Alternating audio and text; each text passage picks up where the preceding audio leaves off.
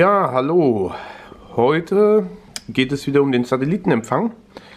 Ich habe euch ja bereits in mehreren Videos schon gezeigt, ähm, wie das mit den NOAA-Satelliten funktioniert.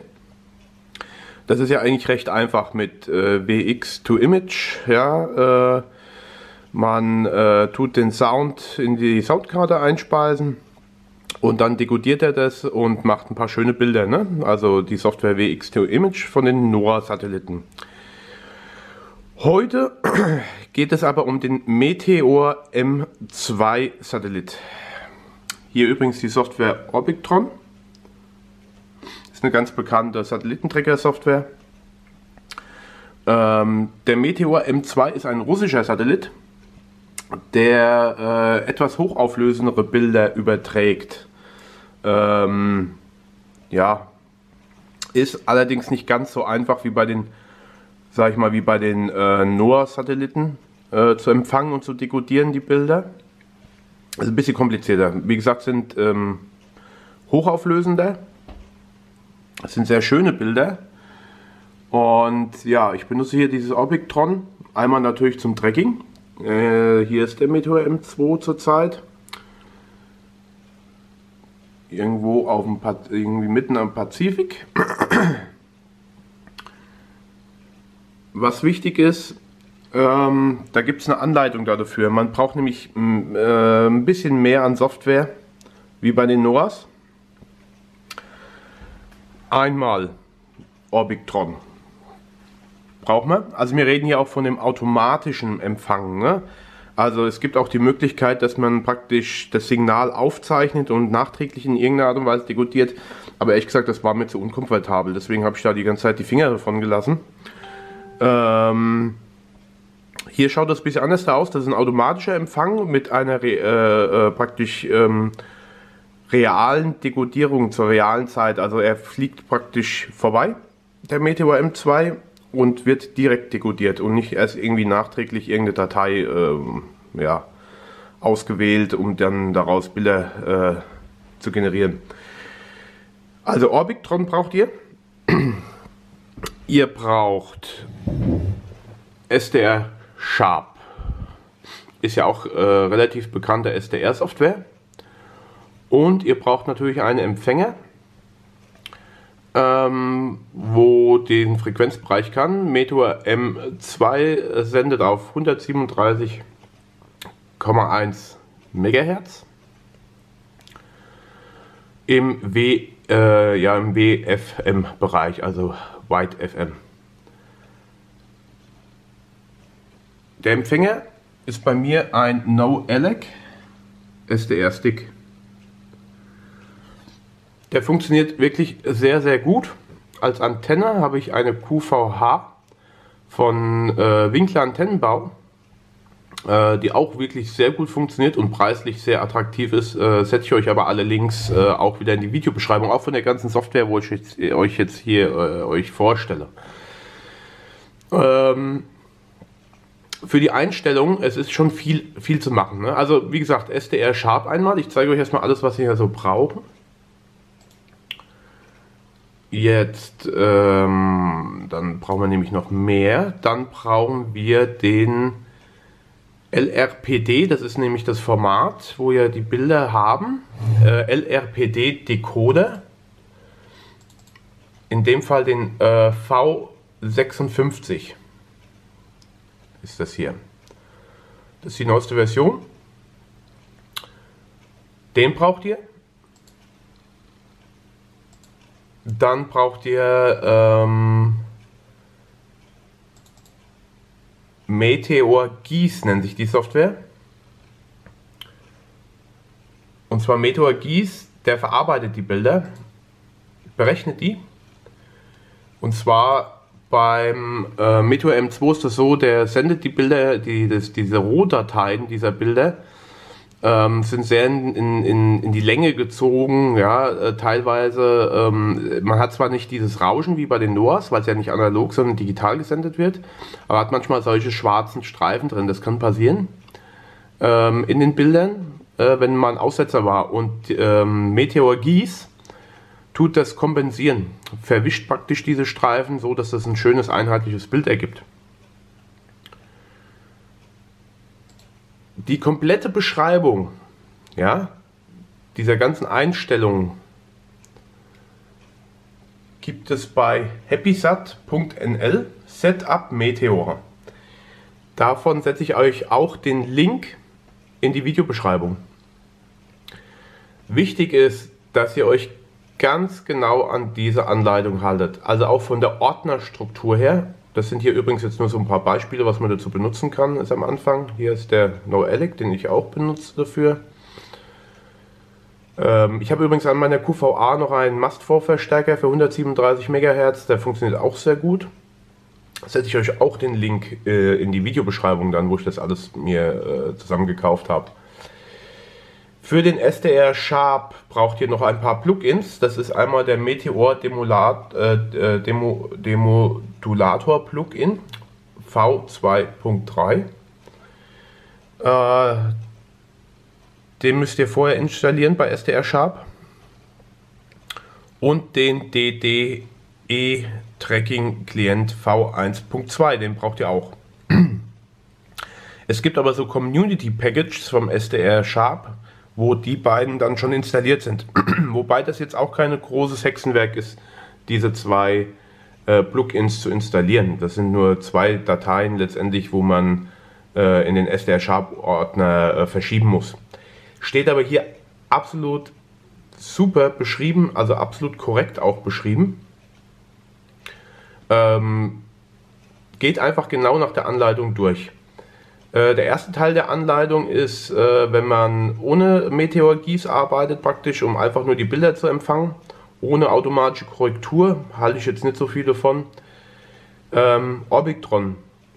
Ähm, auch noch ganz wichtig, braucht ihr für den automatischen Empfang, weil mit Orbitron verbindet ihr SDR Sharp und ähm, damit mit dieser Software, die gibt praktisch den Befehl zum Aufzeichnen. Ja? Also Orbitron gibt den Befehl zum Aufzeichnen, äh, sobald Meteor vorbeifliegt. Also SDR Sharp weiß das, weiß das eigentlich dadurch, dass Orbitron ihm das sagt. Ja? Mal einfach ausgedrückt.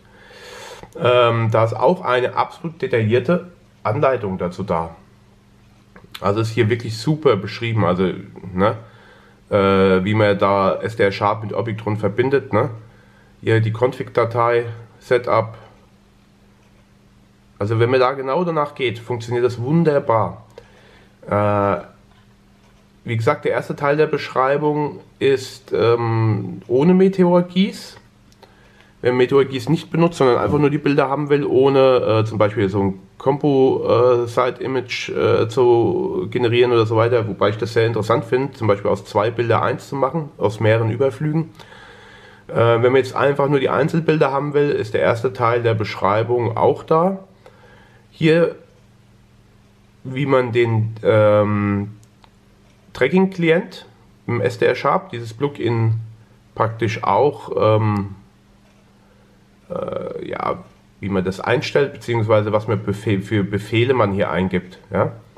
Hier ist zum Beispiel die Bandbreite, die Frequenz, äh, welche, was für Bilder, in welchem Format er dekodieren soll, wo er hin die speichern soll und so weiter. Das sind praktisch Befehle. Ähm, wenn das Signal kommt und wenn es wieder weg ist, ne, was dann passiert. Also das ist wirklich sehr detailreich beschrieben, also wenn man da genau danach geht, nach dieser Beschreibung, kann wirklich nichts passieren. Bin ich der Meinung zumindest. Ja, wie man das Demodulator, Demodulator-Plugin auch einstellt, alles on Detail beschrieben. Ähm, so, hier auch Setup vom LRPD-Decoder ist auch mit dabei und wie man das äh, in diesen äh, Tracking-Klient dann auch eingibt, auch on Detail beschrieben. Hier seht ihr das auch mal, hier so ein Beispielbild, wie die Bilder ankommen im Rohformat, ziemlich in die Länge gezogen, also ne, normal müsste das von der Ansicht breiter sein. Das erledigt aber dann alles die Software. Ähm, Meteor GIS, deswegen habe ich auch, bin ich gleich zu diesem Setup hier übergegangen. Äh, Setup Meteor GIS, Meteor MN2. Es gibt übrigens zwei russische Satelliten, aber den einen empfange ich nicht hier. Ich empfange nur den M2. Hier sind auch die Downloads alle drin. von den ganzen, äh, auch von den ganzen Plugins und von allem anderen, na, kann man hier anklicken und dann kommt man auf die Download-Seite. Und auch hier für dieses Setup für, für Meteor GIS, die diese Bilder dann berechnet und äh, bereinigt und ja, die einfach ein bisschen schön macht und um halt auch ähm, diese Composites Image zu bekommen, wenn man jetzt mehrere Überflüge hat innerhalb von sechs Stunden, kann man dann äh, ein schönes Bild draus generieren, beziehungsweise die Software macht das. Ich will da jetzt auch nicht äh, ja, zu viel Fachquatsch da reden. Wenn ihr euch da einfach hier genau dran haltet, ne? genau das hier so auch die Ordnerstruktur, das habe ich gemerkt, die Ordnerstruktur sollte wirklich genau so sein wie hier in dieser Beschreibung. Auch von den Dateien her. Ich habe das mal irgendwie probiert, habe mal einen Ordner anders benannt und dann hat er da nichts mehr gemacht, hat er keine Bilder mehr abgespeichert und so weiter. Die Ordnerstruktur sollte ganz genauso sein. Also ihr habt zum Beispiel Festplatte C, ihr könnt aber auch D nehmen oder so, das ist jetzt egal, wo. Macht einen Ordner Meteor, macht einen Ordner Image M2, Meteor GIS, wo dann, also Meteor GIS ist ja der, das, die Software, die sollte auch da mit drin sein. Ähm, Out Image M2, S-File und so weiter. Den LRPD-Decoder, da braucht ihr nur die Exit-Datei. Äh, alles andere braucht ihr nicht. Der kommt auch mit hier in den Ordner. Diese ini-Datei, also diese config-Datei, die generiert er selber. Äh, wenn er das gemacht hat, ähm, kann es mal passieren, dass er fragt nach, äh, äh, ja, nach der Auflösung 72K oder irgendwie 80K oder irgend sowas. Äh, dann ähm, müsst ihr das hier eingeben. Das ist gleich in der ersten Spalte. Da steht Auto als Mode äh, tut ihr einfach 72k eintippen. Aber wie gesagt, auch das steht hier alles beschrieben. Ja, dann hier die Befehlszeilen, wenn ihr Meteor GIS verwendet zum, äh, zum Dekodieren bzw. dann auch zum Berechnen der Bilder. Wieder von dem DDE Tracking Client. Also das ist alles einwandfrei gemacht hier. Ne? Also das ist wirklich sehr, sehr gut beschrieben, ja. Und dann könnt ihr da autom eine automatische Dekodierung machen, ja, eine Echtzeitdekodierung der äh, LRPD-Bilder äh, von Meteor. Ich setze euch da den Link in die Videobeschreibung, damit ihr dann nicht lang suchen müsst. Von, der, dieser, Video, von dieser Beschreibung. Und dann zeige ich euch das jetzt auch nochmal beim SDR Sharp, wie das ausschaut. Und zwar, das ist hier, Moment, ich gehe mal ein bisschen hoch. Also das ist einmal der Demodulator für Meteor, dieses Plugin, steht auch dann hier.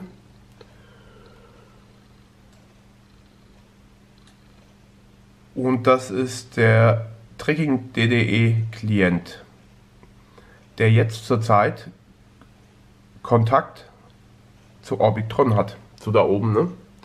Und zwar, wenn ihr das genau nach Anleitung gemacht habt, könnt ihr nämlich jetzt hier als äh, Treiber SDR Sharp auswählen und hier auf Verbinden klicken. Hier die Daten muss man natürlich eingeben, den, die Downlink-Frequenz, den Doppler-Effekt, den berechnet er selber und was für eine Bandbreite, ja. Äh, was ihr auch noch hier eingeben müsst beim Tracking-Klient ist äh, einmal ab wann er aufzeichnen soll, also äh, ab 1 Grad äh, Höhe Azimut, ja, also wenn er praktisch über den Horizont steigt, den, der Satellit. Habe ich jetzt mal 1 Grad gewählt. Äh, meistens langt das noch nicht, um ein schönes Signal zu bekommen, aber ab da startet er bei mir. Äh, und hier ist auch diese Konfigurationsgeschichte, was auch in der Beschreibung was ich euch vor eben gerade gezeigt habe, genau ausgeführt, dass diese ganzen Befehle, wo ihr da eingeben müsst, damit das alles automatisch funktioniert. Ihr müsst dann hier halt den Satelliten äh, generieren. Das kann man hier machen. Add a new satellite äh, klickt ihr dann da an und schreibt das aber genauso hin in Großbuchstaben minus m und dann hier äh, Unterstrich 2. Ja? Nicht irgendwie ein Freizeichen nur lassen, weil wenn das nicht genau übereinstimmt mit dem, was äh, Obictron sendet, funktioniert das nicht. Ihr seht ja, wie das hier geschrieben ist. So. Ich habe übrigens nur hier den Ton aus, deswegen ist es hier so leise. Ja, wie gesagt, ich habe eine QVH-Antenne dran, äh, rechtsdrehend. Und äh, das ist eine super Antenne. Hat mich gekostet 75 Euro. Das ist für so eine Antenne eigentlich recht günstig. Man kann die natürlich auch selber bauen, dafür gibt es genug Anleitungen auch im Internet. Aber ich habe mit dem Herrn äh, Winkler äh, selber gesprochen, der dieses, diese Antenne baut, von Winkler Antennenbau. Und ja, der Mann war mir eigentlich ganz sympathisch und äh, ich muss sagen, das, was er da geschickt hat, äh, ich blende euch auch mal ein paar Bilder ein von der Antenne. Dann könnt ihr das mal sehen. Äh, unten habe ich dann, wie gesagt, noch den Mastvorverstärker für den Frequenzbereich installiert. Und dann macht das das natürlich noch besser alles. Ne? Ja, wie ihr seht, ist Meteor noch eine Weile entfernt. Er fliegt auch nicht, wohl jetzt bei diesem Pass, fliegt er nicht direkt. Also da ist meine Station, ja. Er fliegt ein bisschen nebendran, aber das langt allemal. Und ja, dann werde ich mal ähm, kurz die Kamera ausschalten und sobald Meteor in der Nähe ist, schalte ich sie wieder ein. Und äh, dann können wir das mal live betrachten, wie das funktioniert mit dieser Meteor M2 Dekodierung. Also, bis gleich. So, wie ihr seht, äh, nähert sich Meteor M2 jetzt langsam. Elevation ist jetzt 0,9. Und jetzt bin ich über 1 Grad, das was ich vorher angeschalten habe, also eingestellt habe, äh, ab dem Zeitpunkt, wo er aufnehmen soll. Und äh, wie ihr seht, hat sich an, auch automatisch Meteor Geese aktiviert. Und Meteor Geese aktiviert jetzt auch den LRPD-Decoder. Hier neben seht ihr auch das Signal, das ist so ein breites Signal von Meteor. Ja. Und äh, ja, jetzt dudelt äh, die Bilder ein. Da oben seht ihr schon einen leichten Rand. Momentan ist ein kleiner Aussetzer da, hat ein bisschen den Kontakt verloren. Das kann mal passieren, er ist noch ein bisschen weit entfernt. Aber er wird dann schon wieder kommen. Wir warten einfach mal. Ja, wie ihr seht hier, das Signal baut sich jetzt wieder auf. und dementsprechend äh, geht es auch mit den Bildern dann weiter. Das ist einfach am Anfang so, wenn er noch relativ weit entfernt ist, kann mal hier jetzt dann so ein Aussetzer sein. Wie ihr seht hier an dem schwarzen Balken. Aber jetzt gehen die Bilder dann praktisch weiter. Äh, ein, Aussetzer in dieser, äh, in dieser Breite, sage ich mal, kann, das, äh, kann die Software auch nicht kompensieren. Ne? Aber das seht ihr dann gleich dann auf den fertigen Bildern. Aber zum Beispiel hier solche kleinen mal gucken, ob wir es scharf kriegen, solche kleinen schwarzen Streifen, das kompensiert dann die Software. Also Meteor Gieß. Äh, Nochmal von der Struktur her, also Orbitron sagt SDR Sharp, wann kommt der Satellit an? SDR Sharp kriegt das mit, indem er, also mit diesem Plugin, dem Tracking-Client, der Tracking-Client sagt dem Demodulator, der Satellit ist im Anflug. Der Demodulator registriert das Signal hier neben. Das schaltet automatisch Meteor Geese zu und Meteor Geese schaltet den LRPD-Decoder dann danach praktisch zu. Ja, ja und dann äh, kommen jetzt hier schon mal so ein paar Bilder rein. Ja. Also aus diesen drei Einzelbilder, was jetzt reinkommt, äh, wird dann letztendlich ein farbiges äh, RGB-Bild generiert, ähm, was dann äh, sicher schön anzuschauen ist, weil äh, jetzt zur Zeit ist das Signal wirklich sehr gut. Ähm, so gut wie eigentlich, oder jetzt hier, hier überhaupt keine Aussätze. Wir schauen mal, wie der Überflug stattfindet. Ist auch relativ dicht dabei, ja, sag ich mal. Das ist für die QVH-Antenne überhaupt kein Problem. Ich hatte auch schon, äh, gestern hatte ich das auch schon mal ausprobiert, da war Meteor hier über Grönland geflogen. Und ich hatte hier trotzdem noch äh, äh, Kontakt. Zwar nicht so perfekten, aber es hat gelangt, um Bilder zu bekommen. Ja, äh, auch der Unterschied übrigens zu NOAA äh, ist ja analoge Geschichte, äh, hier digital. Ähm, wenn Aussetzer vom Signal sind, dann sind es wirklich komplette Aussetzer hier wie solche schwarzen Streifen. Ne? Also da ist kein Rauschen oder so. Ne? Das ist nicht verrauscht. Entweder ist es da oder ist halt nicht da. Dann werden wir mal den Überflug komplett mal beobachten. Das Signal ist jetzt hier, seht ihr hier so ein bisschen, ich will jetzt nicht hier groß äh, was verrücken mit dem Mauszeiger, nicht dass ich aus Versehen was verstelle. Das Signal aber seht ihr hier schon ist sehr, sehr stark. Ne?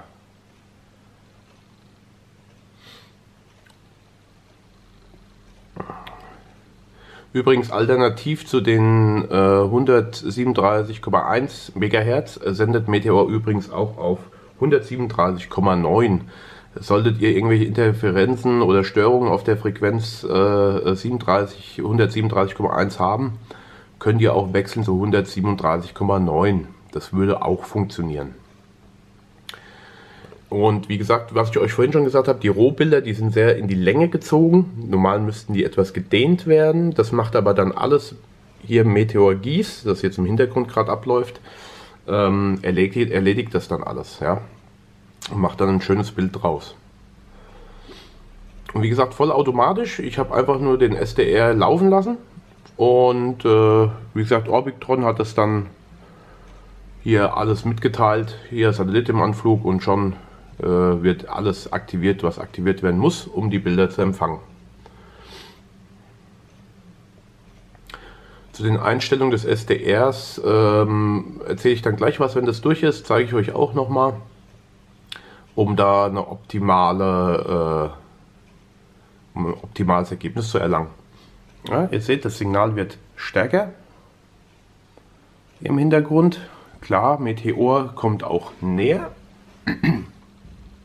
näher an meinen Standort dran.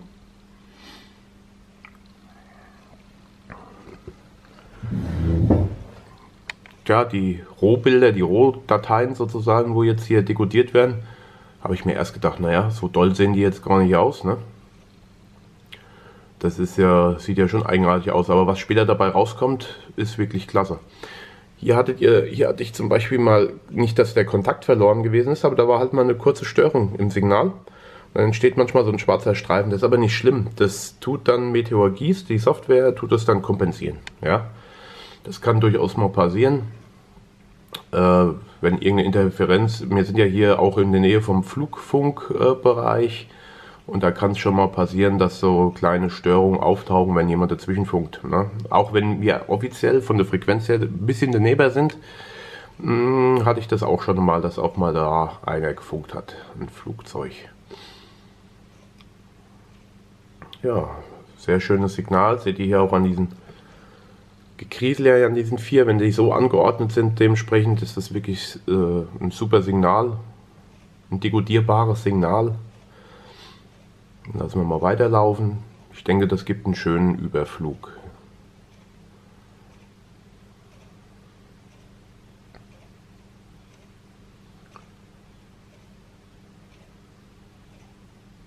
Ja, das Signal wird immer stärker. Einen schönen Hügel hier. Wie ihr seht, wirklich sehr, sehr schön. Die Software arbeitet auch sehr gut.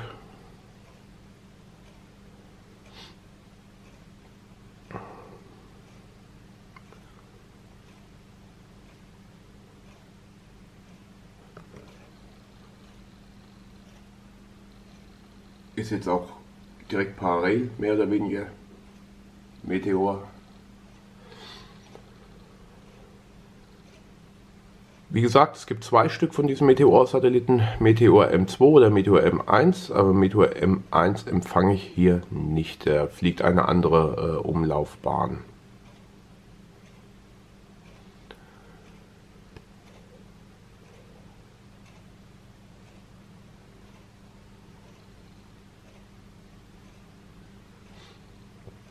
Übrigens, was auch ganz interessant ist, ähm, ihr müsst nur aufpassen, wenn ihr das mal in den Abendstunden ausprobiert. Ähm, es ist so, Meteor schaltet nicht immer seine Infrarotkameras ein. Es gibt auch Zeiten ähm, in einem gewissen Abstand, ich glaube alle zwei Wochen, ich bin mir da jetzt noch nicht ganz sicher, ähm, schaltet er auch mal für eine Woche seine Infrarotkameras ähm, ab. Und wenn ihr das dann hier so nachts mal ausprobiert, wenn es dunkel ist, kommen hier wirklich nur schwarze Bilder, ne? weil er die normalen Kameras nur anhat und dann ist es hier einfach nur ein dunkles Bild, also ein dunkles Streifen, ne? weil es ist ja Nacht. Ja? Deswegen wundert euch nicht, wenn ihr mal abends das ausprobiert und ihr kriegt da kein Bild hin, obwohl alles funktioniert, die Software aktiviert sich, alles funktioniert, aber hier kommt nur schwarz. Äh, wenn es Nacht ist, klar, dunkel, bleibt dunkel, da passiert hier nichts. Ne? Ähm, es gibt aber auch, wie gesagt, äh, dann Zeiten, wo er seine Infrarotkameras hat. Dann gibt es hier so ein Infrarotbild, wo dann aufgebaut wird. Wir sind in der Elevation bei 26,6 Grad. Das ist super.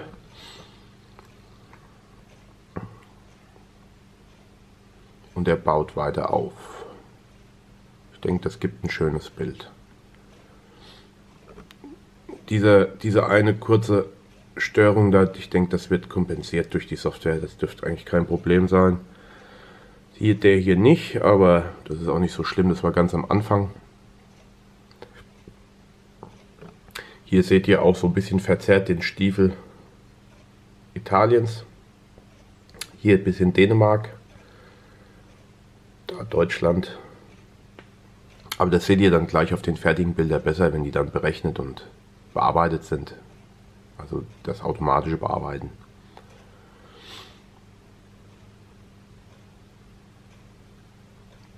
Und es läuft gut weiter, muss man sagen.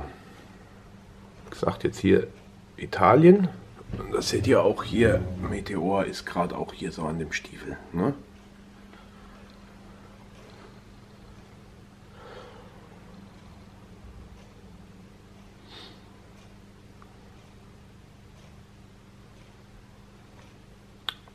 Lasse das mal weiterlaufen. Ich schalte gleich die Kamera ein, wenn es wieder fertig ist. Das dauert nämlich noch eine ganze Weile jetzt. Ne? Okay, bis gleich. So, der Überflug ist jetzt gleich fertig. Wie ihr seht, bin ich schon bei 1,1 und ab 1 Grad ist dann gleich Schluss 0,8. Jawohl. Und ihr seht, äh, LRPD-Decoder ähm, speichert jetzt die Bilder. Hier zum Schluss, wie gesagt, seht ihr hier, sind ein paar mehr Störungen aufgetaucht. Klar, weil er aus meinem Bereich rausgegangen ist. Aber trotzdem, das sieht gut aus. Jetzt hat sich LRPD-Decoder abgeschaltet und Meteor GIS übernimmt die Berechnung der Bilder und die äh, Generierung. Da werden die einzelnen blau, grün, rot ähm, äh, Kanäle praktisch ähm, empfangen, also von Meteor GIS jetzt, von LRPD-Decoder. Und jetzt wird korrigiert. Ne? Also das macht hier die Software wirklich komplett alleine. Das ist wirklich eine tolle Sache. Das dauert auch eine Weile.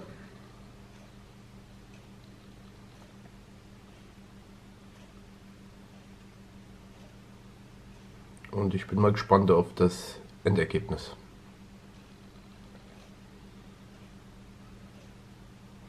Er arbeitet noch.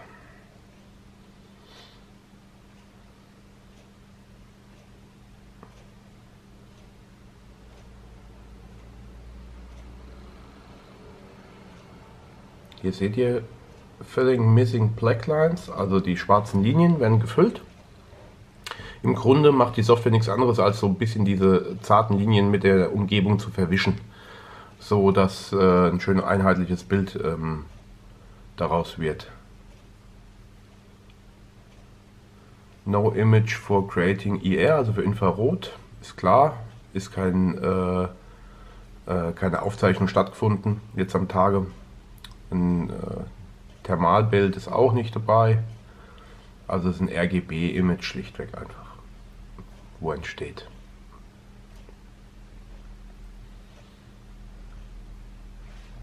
Ihr seht übrigens, der nächste Überflug, der jetzige ging ja hier, sag ich mal, äh, östlich an mir vorbei. Der nächste Überflug westlich. Ähm, daraus wird dann bestimmt auch ein schönes äh, Composite-Image, also ein, ein Bild aus zwei Bildern. Das zeige ich euch aber dann auch noch dann mal später.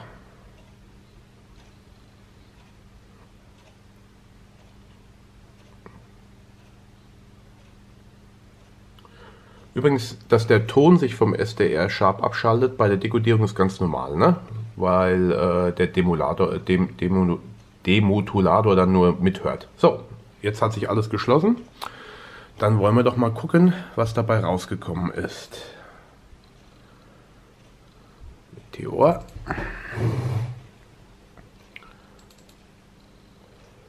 So, da haben wir doch was. Ja, wunderbar. Es sieht doch schon gut aus. Und da seht ihr das fertige Bild. Und ich muss sagen, wunderbar. Also das ist wirklich ein sehr schönes digitales Bild vom Meteor M2 geworden. Hier oben, äh, der Streifen ist dieser kurze Aussetzer. Hier hatten wir ja mal kurz leichten Kontakt gehabt. Und dann ähm, ein Aussetzer praktisch, ja. Ja, aber das ist nicht schlimm hier, das ist hier ganz oben im Norden Norwegens. Da haben wir halt leichten, es sind auch viele Berge. Ich weiß nicht, ob das daran liegt. Ja, und dann seht ihr das, was daraus geworden ist. Bis runter ans nördliche Afrika. Ich kann hier mal ranzoomen. Hier, das könnt ihr übrigens auch, den Schrift, äh, die Beschriftung des Bildes könnt ihr alles in Meteor Gieß in der Config-Datei dann festlegen, was hier oben stehen soll. Hier jetzt der Name meiner Station und mein Name und die Uhrzeit und was für ein Satellit. Und da kam dann hier dieses wunderbare Bild bei raus. Schön über so eine Art Erdball gelegt. Ne? Also das ist wirklich sehr, sehr gut geworden.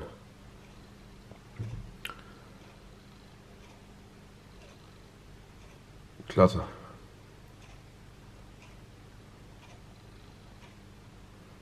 Ich zoome mal ein bisschen ran. Hier sind auch die Städtenamen schön. Wie gesagt, hier die Bewölkung. Ja, über Norwegen ist gerade ein bisschen was los. Ist nicht so schönes Wetter. Aber wie ihr seht hier bei uns, klare Himmel. Also wunderbar.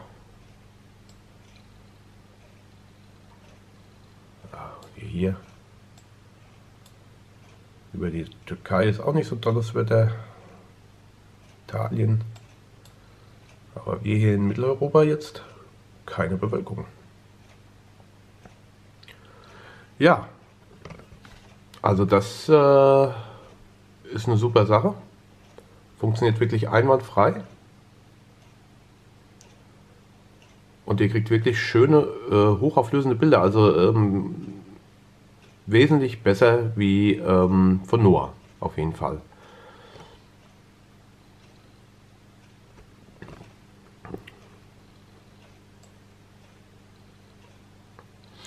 Ja, ich werde übrigens, wenn, ich zeige euch das mal, wenn jetzt der zweite Überflug innerhalb von sechs Stunden äh, stattfindet, das tut er ja, dann äh, hier ist der Ordner für die Bilder ähm, wo praktisch äh, für die fertigen Bilder, äh, den habe ich wie gesagt nach genau der Ordnerstruktur in der Beschreibung festgelegt. Der speichert das dann hier automatisch ab.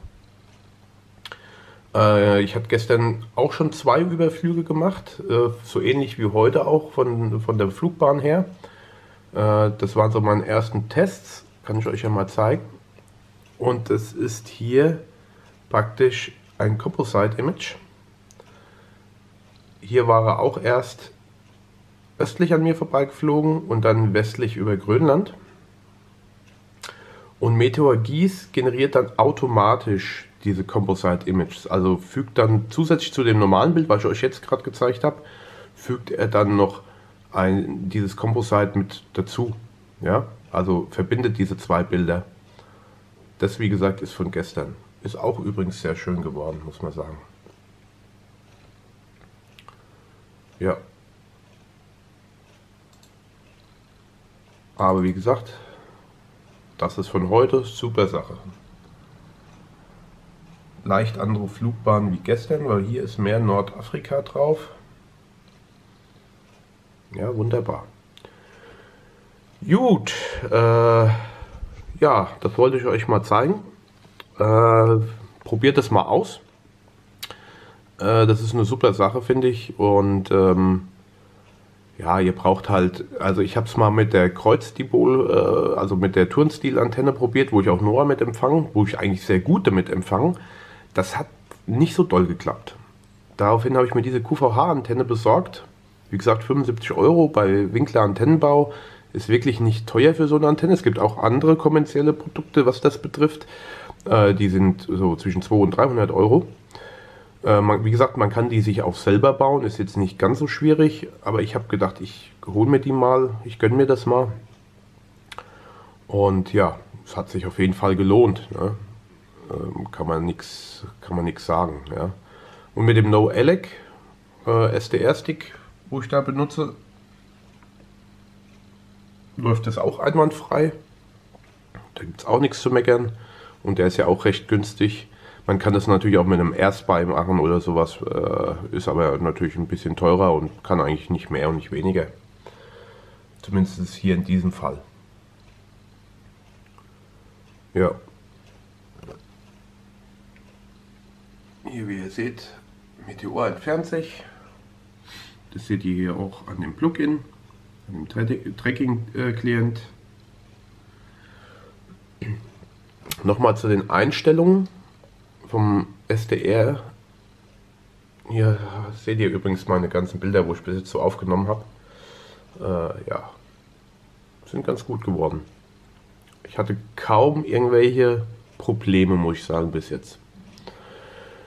So, ähm, Einstellung, SDR nochmal kurz. Die Sample Rate solltet ihr auf 0,9 00001 MSPS einstellen. Offset Tuning und ich habe gemerkt, dass bei 43,4 dB, aber da müsst ihr selber mal gucken, wie das bei euch ist, kommt auch ein bisschen auf die Antenne an, habe ich da die besten Ergebnisse mit. Mehr braucht ihr eigentlich nicht. Alles andere erledigen, erledigen diese zwei Plugins. Und ja, haltet euch genau an die Beschreibung, wo ich euch in den äh, in die Videobeschreibung setze. Und dann kann das wirklich auf Anhieb funktionieren. Sollten trotzdem noch Fragen sein, was äh, Konfiguration, Einstellung der Software äh, und so weiter betrifft, oder ihr einfach Probleme habt, weil die Beschreibung ist halt auf Englisch, falls ihr irgendwie äh, sprachliche Probleme habt, äh, diese zu verstehen, dann, wie gesagt, schreibt mir einfach in den Kommentare äh, die Frage rein, was ihr habt. Äh, ich werde antworten äh, zeitnah und ähm, helfe euch natürlich auch bei den Konfigurationen und Einstellungen der jeweiligen Software. Ähm, bevor ihr da jetzt tagelang verbringt äh, und äh, das irgendwie nicht hinbekommt, ist der Quatsch. Ne? Da fragt ihr mich einfach und ich kann euch da vielleicht unterstützen, wenn es geht. Irgendwie. Ja. So, gut.